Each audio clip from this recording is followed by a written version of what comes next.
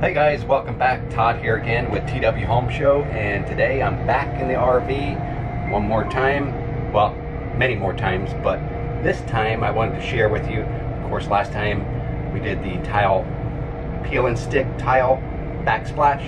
I also did it back in the back bathroom back there. You can probably see it from here. But anyways, today I wanted to do some special bling lighting, LED lighting below the cabinets here. I noticed they had a nook below the cabinets, right in here, and in here, and all the way across those different nooks, all the way till underneath the fireplace there.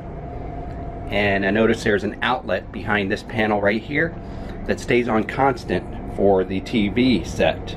So that's a 110 outlet. I'm gonna hook my LED strips up after placing channel in all these crevices underneath the cabinets and then hook it up to a smart Alexa switch. So stay tuned, we'll see how that goes.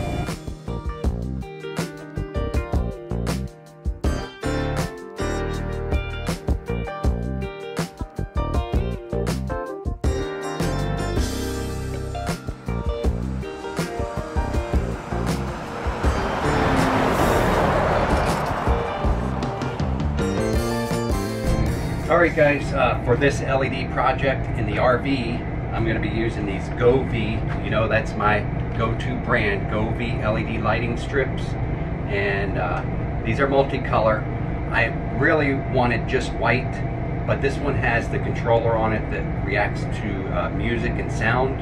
And I thought that would be a unique gimmick to have in this RV. So we're going to go ahead and use these, mainly using them on the white though.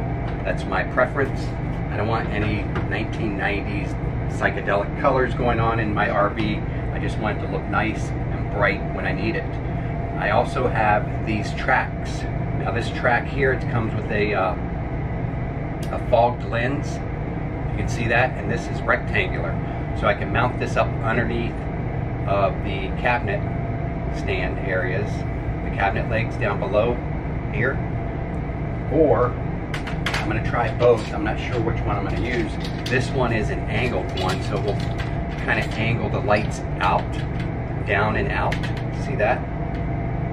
So we'll see which one goes the best and which one is less revealed. I don't want it. I don't want anybody to see this track if, if I can help it while it's underneath there.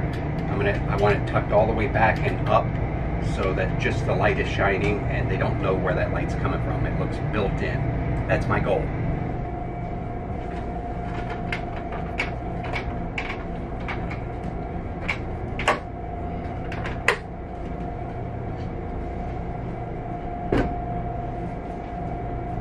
All right, there's my outlet behind here. And like I said, that stays on with the house batteries, even with the generator not on, even if it's not plugged into shore power. There's uh, actually four outlets in the 2014 Tiffin Allegro Open Road that will stay constantly powered 110. Uh, you know, most of them go out unless you have the inverter on and connected to shore power, but there's four outlets that stay on. And that's the three TVs in here, the front, middle one, and the rear TV stay on. Those outlets stay on. And also there's one below the passenger seat that outlet stays on for utility reasons while you're driving.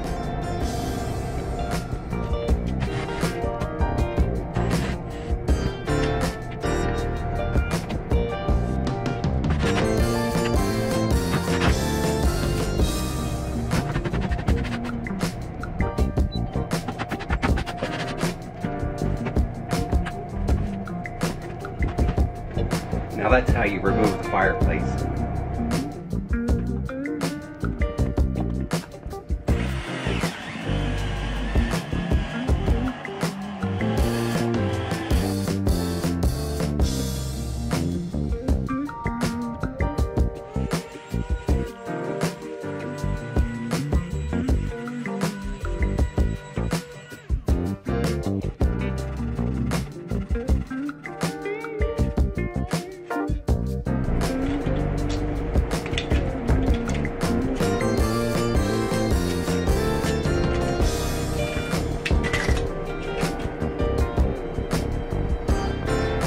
Right guys, I've got all my sections cut.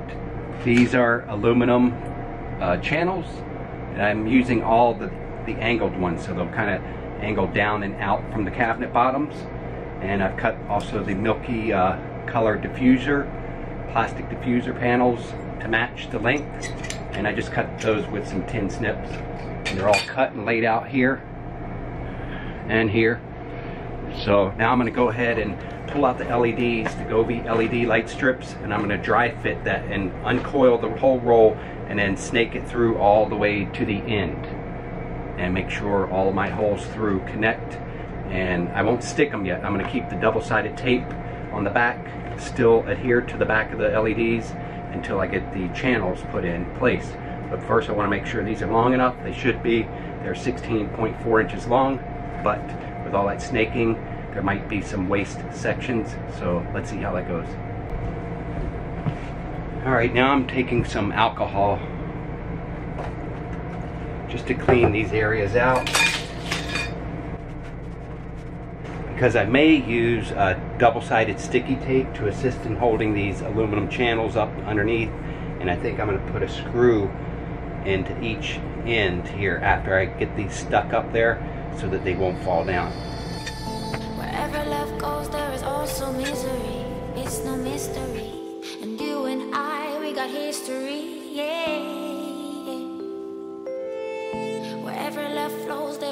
Also tragedy. When we're in too deep. And you and I, we got history. Yeah.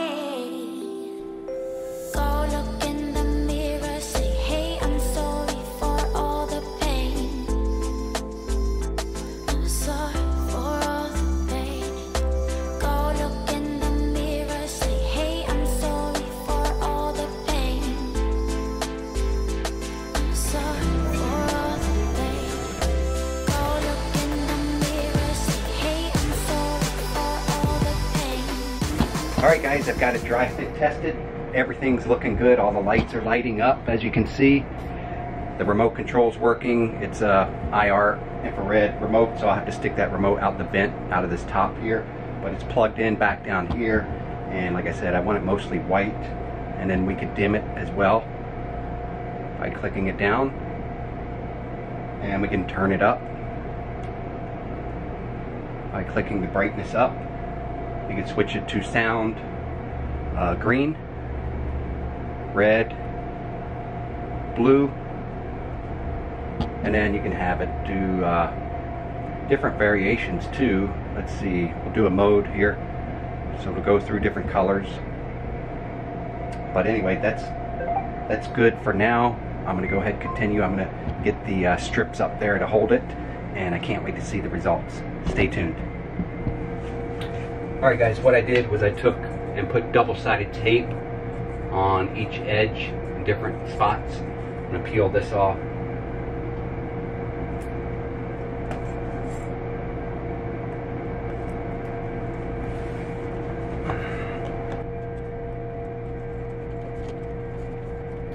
And then I'm gonna put a screw into each end just to anchor it in place and keep it sturdy.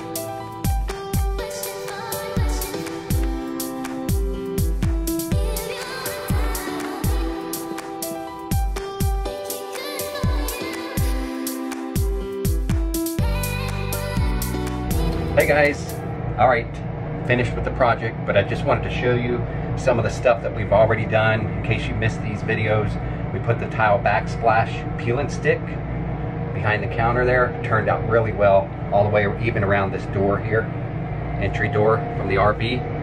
And the other day, I continued that with the master bathroom back here with that tile look and new wallpaper over here. So it turned out very, very nice.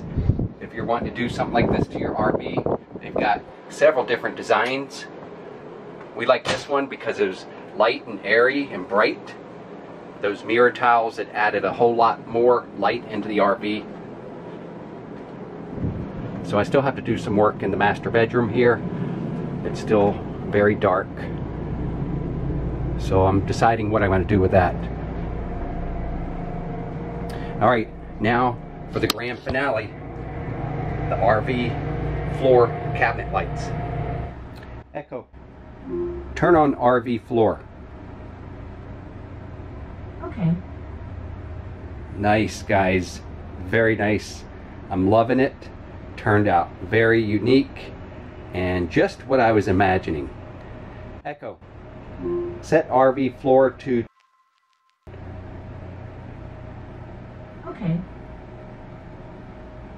Look at that. And it. Uh, this is the reason why I like the Govee light LED light strip brand is because it's got Alexa built in. I didn't even need to purchase that uh, smart plug for Alexa. It's all built into Govee and it works. It's discovered on Alexa after you configure it, the Wi-Fi connection to your home, and it works real well.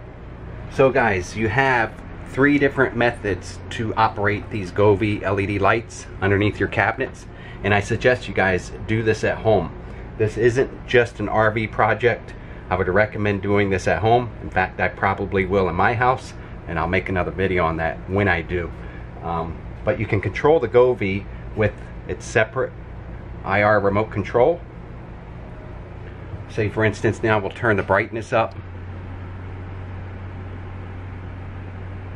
and the brightness is full blast now or you can use the Govee app on your smartphone or you can use Alexa.